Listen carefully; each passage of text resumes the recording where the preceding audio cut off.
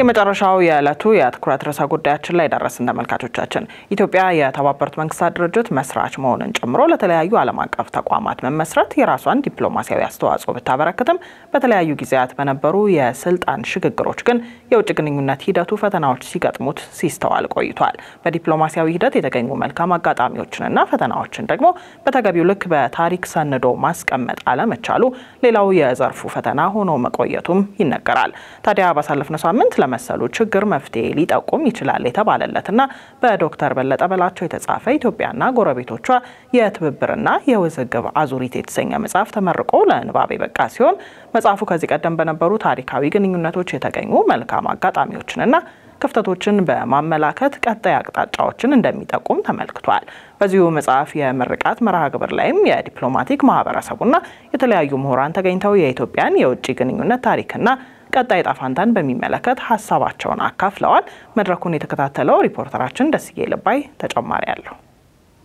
ባሳለፍነው ሳምንት ኢትዮጵያና ጎረቤቶቿ የትብብርና የውዝግብ አዙሪት የተሰኘ በኢትዮጵያ የዲፕሎማሲ ታሪክ በተለይም ከጎረቤት ሀገራት ጋር ያለውን ታሪካዊ ግንኙነት የሚዳስስ መጽሐፍ ተመርቆ ለንባብ በቅቷል። በውጭ ጉዳይ ፖሊሲ አማካሪ የታሪክ ምሁርና ተመራማሪ በሆኑት ዶክተር በለጠ በላቸው የተጻፈው ይህ መጽሐፍ ኢትዮጵያ ለዘመናት በነበራት የውጭ ግንኙነት ሂደት የነበሩ መልካም አጋጣሚዎች እንዲሁም ክፍተቶችና ያስከተሉትን ችግር የሚያመላክት መሆኑም ተነግሮለታል። በመጽሐፉ የምርቃት መርሃ ግብር ላይ ተገኝተው ንግግር ያደረጉ የቀድሞ ዲፕሎማቶች እንዲሁም ምሁራን የኢትዮጵያን የውጭ ግንኙነት ታሪክ በዳሰሰው ንግግራቸው የተባበሩት መንግስታት ድርጅት መስራችነትን ጨምሮ ለተለያዩ አህጉራዊና ዓለም አቀፋዊ ተቋማት መመስረት የተጋች ሀገር ላለፉት ዓመታት የነበራት የዲፕሎማሲ ሂደት መውጣትና መውረዶች የተስተዋሉበት ነበር ብለዋል። አንዳንዴ በጣም vulnerable ተጋላጭ የሆነች ደካማ ሀገር ትመስላለች። በሌላ መልኩ ደግሞ ወርቃማ የ foreign policy የድሎችን ከአድዋ ጀምሮ ወርቃማ ደግሞ የውጭ ግንኙነት ፖሊሲ በዓለም የዓለም ስርዓት በገንባት ውስጥም ሚና ያላት በፓን አፍሪካኒዝም ላይ ሚና ያላት ወርቃማ መንገድም ያለው ይላል። ታምራዊ የሆኑ ስኬቶች የሚመስሉ ደግሞ በጣም vulnerable የሚያናድዱ ቀሽም የሆኑ ስህተቶች የተሰሩ የሚሰሩባት ሀገር ነች። በሌላ በኩል የኢትዮጵያ የውጭ ጉዳይ ፖሊሲ በየጊዜው ወደ ስልጣን በሚመጡ መሪዎች ስብዕና የተቃኘ መሆኑ በዲፕሎማሲ ሂደቱ መልካም አጋጣሚዎች እንዳሉ ሁሉ አገርን ዋጋ ያስከፈሉ ውሳኔዎች እንዲተላለፉ ማድረጉም በዚህ መድረክ ላይ ሲጠቀስ ሰምተናል። የሚወሰኑ ውሳኔዎች መሪዎቹ ባላቸው ስትራቴጂ ፖሊሲ ልንል እንችላለን። ግን በዛች ጉዳይ ላይ በዛች ወቅት በሚሰማቸው ሁኔታ ላይ ተመሰረተ። ለውጭ ጉዳይ ፖሊሲና ዲፕሎማሲያዊ ግንኙነት መጠናከር መሰረቱ የሶስት ተቋማት ቅንጅት ነው የሚሉት ቤልጅየምን ጨምሮ በተለያዩ ሀገራት የኢትዮጵያ ባለሙሉ ስልጣን አምባሳደር ሆነው አገራቸውን ለረዥም ዓመታት አገልግለው አሁን ላይ በጡረታ የተገለሉት አምባሳደር ግሩም አባይ አገራት ይህንን እውን ለማድረግ የመከላከያ የውጭ ጉዳይና የብሔራዊ ደህንነት መስሪያ ቤታቸውን ቅንጅት በማጠናከር እንደሚሰሩ ይገልጻሉ። ነገር ግን በእኛ ሀገር ይህ ጉዳይ ብዙ ስራዎችን የሚጠይቅ መሆኑንም አክለዋል። የ foreign policy ፈጻሚ አካላት ሶስት ናቸው። ውጭ ጉዳይ፣ national intelligence፣ military intelligence እነዚህ ሶስቱ ናቸው። of course የ prime minister office አለ፣ ግን ዞሮ ዞሮ በ executive branch ስለሚገባ ብዬ ነው። ሌሎች ሀገሮች ብዙ ጊዜ foreign policy ዎቻቸውን ለማስፈጸም የእነዚህ ሶስቱን coordination በደንብ በተሰራ መልኩ አዋቅሮ ይሰሩታል።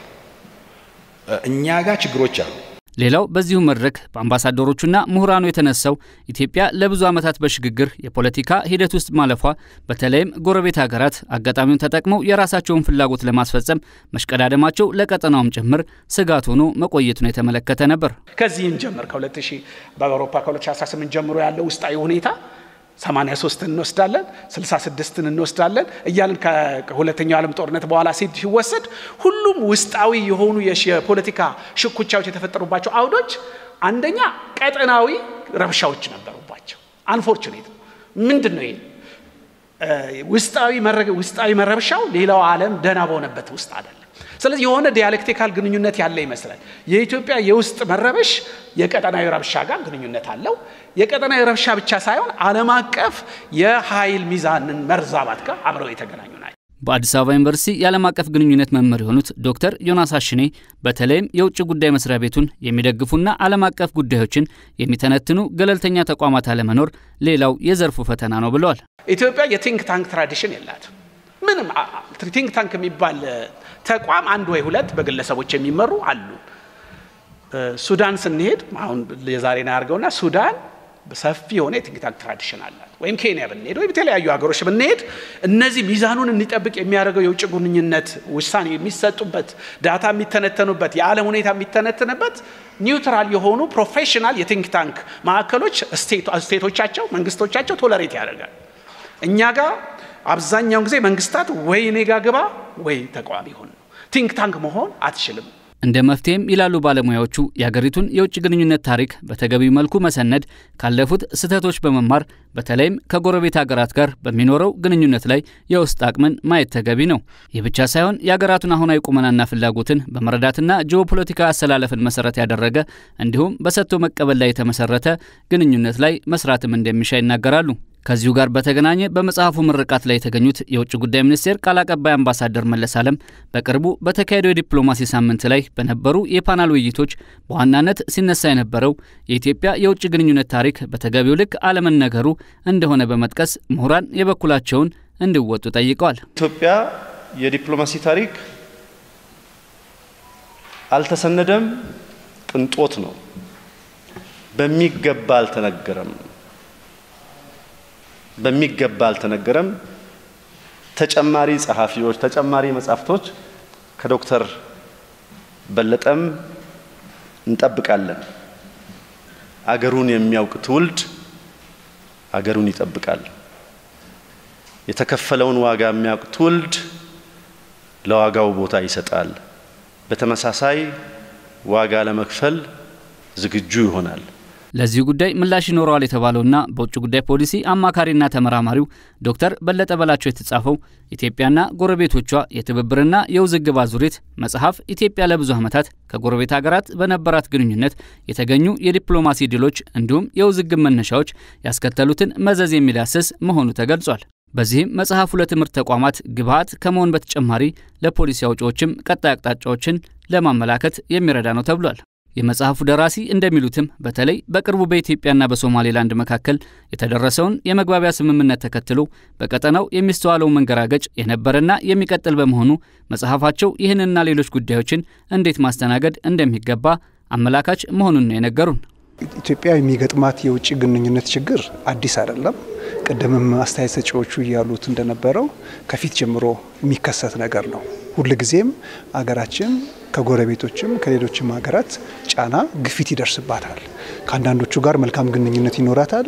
አንዳንድ ጊዜ ደግሞ ወደ ውዝግብ፣ ወደ ውጥረት፣ ወደ ጦርነትም ጭምር እንሄዳለን እና ለማሳየት የተሞከረው አሁን ላይ እየተፈጠረ ያለው ነገር አዲስ አለመሆኑን ከፊት ጀምሮ ሲከሰት የኖረ በዚህ ውስጥ ሁልጊዜም ስንዳክር መኖራችንን ለማሳየት ነውና ከመጽሐፉ አንዳንድ ነጥቦች ይህንን ትምህርት እንወስዳለን ተብሎ ይታሰባል። ዶክተር በለጠ አክለውም ይሄው የኢትዮጵያና የሶማሌላንድ ስምምነትን ተከትሎ ቀጠናዊ መልክ እየያዘ የሚመስለውን ውዝግብ ለማርገብና ከጎረቤት ሀገራት ጋር ያለውን ታሪካዊ ትስስር ለማጠናከር ከሚሰሩ የዲፕሎማሲ ስራዎች ጎን ለጎን የውስጥ ጉዳዮች ላይ ትኩረት ማድረግ እንደሚገባ ገልጸዋል። ሁልጊዜም ችግር ውስጥ የምንገባው እኛ የውስጥ አቅማችን ደካማ በሚሆንበት ሰዓት ነው።